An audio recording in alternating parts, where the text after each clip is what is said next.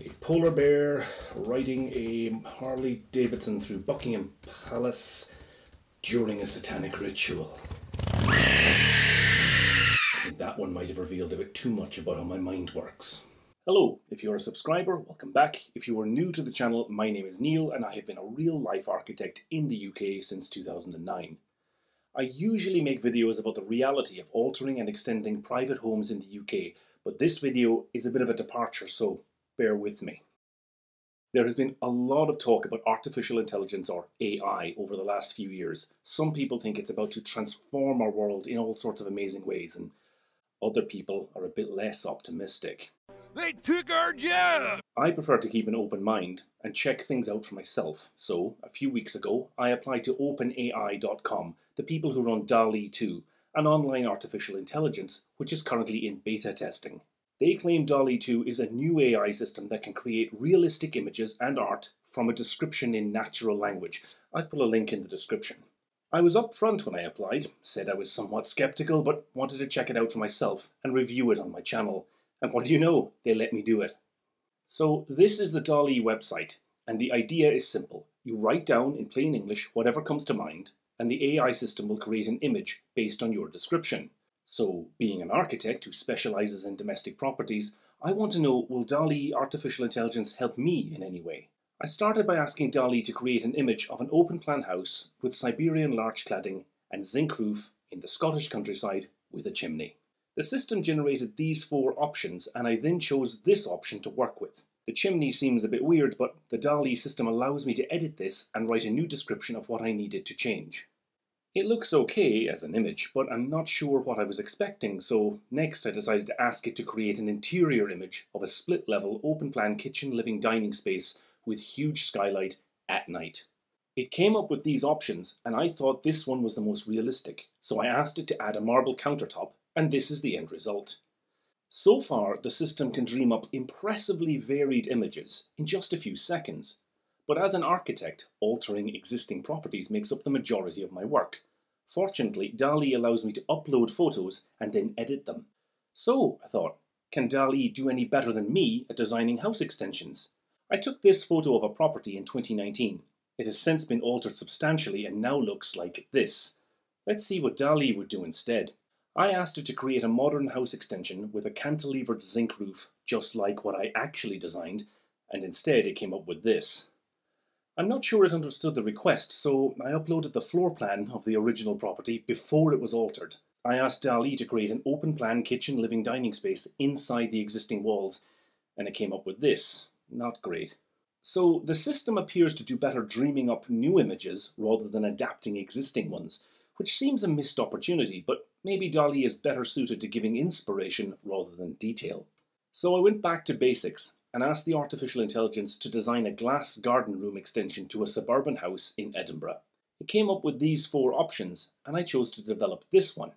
It has all the elements you might expect of a suburban extension in Edinburgh.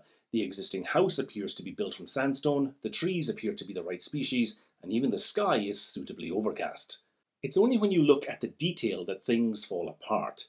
The junctions between house and extension and the extension and the ground appear arbitrary, but maybe if I see this as the starting point for a design rather than the end product, it's not that bad.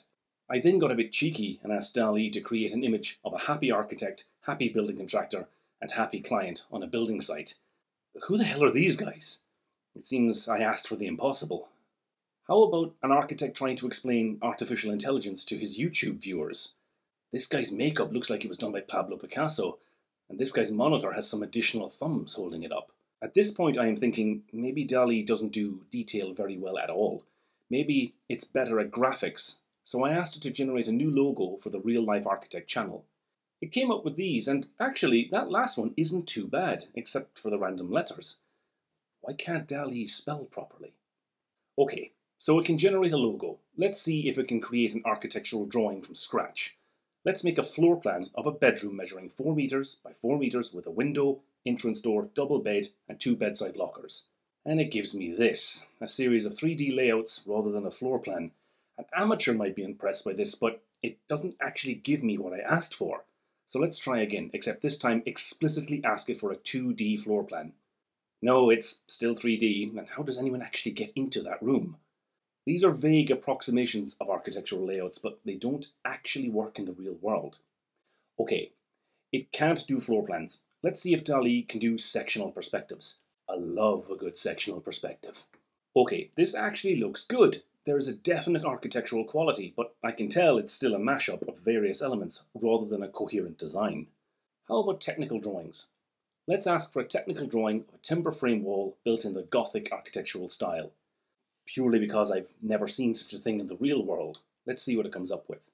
Okay, cool. Again, the text is meaningless gibberish, but the diagram is interesting. Let's push this further.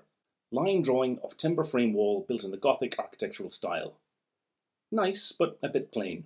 Skiography drawing of timber frame wall built in the Gothic architectural style. Okay, wow, that is starting to get interesting. Skiography drawing of timber frame wall built in the Gothic architectural style with shadows. Now we're getting somewhere. Skiography drawing of intricate fractal timber frame wall built in the Gothic architectural style with shadows. Now that really is something to look at. I don't know if it can be built, but it is very interesting architectural drawing of intricate fractal timber frame wall built in the Gothic architectural style with shadows. This definitely has a strong architectural quality, no doubt. Let's ask for something else architectural. Complex architectural sketch of timber frame house. That is really nice. Let's develop it further. Complex architectural sketch of modern timber frame house. Very interesting. Let's change the description slightly. Highly detailed architectural sketch of modern timber frame house. Okay, some nice options there. Let's push it further. Highly detailed architectural line drawing of modern timber frame house with shading. Okay, some nice options there. Let's add fractal in like that the last time. Highly detailed architectural line drawing of fractal timber frame house with shading. Check out the last one. Let's develop that one further. Wow, at first glance there is a lot of detail here, but if you look closely it gets sketchy like the artist doesn't really know how to actually build this or how the interior space might be organised. These sketches have an undeniable, beautiful architectural quality, but they are still sketches. This is architecture student stuff. It's expressive and full of potential, but it lacks deeper architectural knowledge. But just like a student learns over time, this artificial intelligence might also graduate to more accurate and useful image making. New technologies always start out with more promise than practical application. Credit cards, mobile phones, electric cars, and the internet all began as expensive technologies with serious limitations, but over time they became much more useful. So far, DALL-E gives the illusion of detail without any depth. It can deal with patterns and materials, but not with space, at least not yet. If this is going to go anywhere, I need artificial intelligence to have architectural intelligence. In my experience, most people imagine architects spend all day drawing, sketching, and making models, but that is completely inaccurate.